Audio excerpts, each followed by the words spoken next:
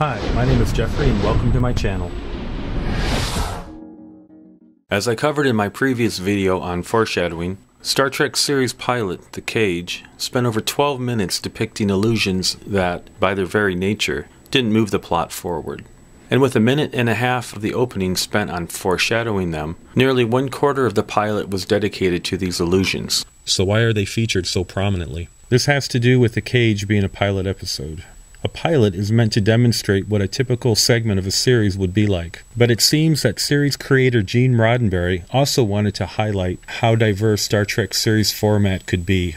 These illusions were a clever way to demonstrate the diversity of settings possible within the Star Trek format. They further highlighted this potential by foreshadowing it. This is the key reason for including these illusions in the story to begin with, as a way to show a range of diverse settings. Pike actually spells this out for us in his quarters. Let's listen to it again. Dealing in green animal women, slaves. The point is that this isn't the only life available. There's a whole galaxy of things to choose from. And that pretty much sums it up.